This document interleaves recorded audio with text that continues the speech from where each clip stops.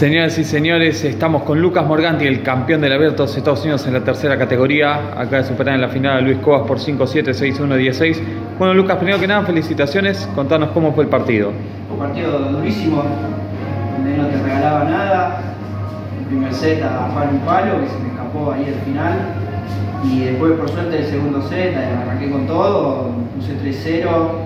Después él lo reguló para llegar al Super Tiebreak y el Super Tiebreak también parejísimo, donde se definió al final en 6 iguales, ahí pude sacar la diferencia y llevarme la victoria, que cualquier otro día la para él. Bueno, después de tu muy buen paso por cuarta este año, eh, empezaste en tercera y la verdad que te acomodaste muy bien al ritmo de pelota.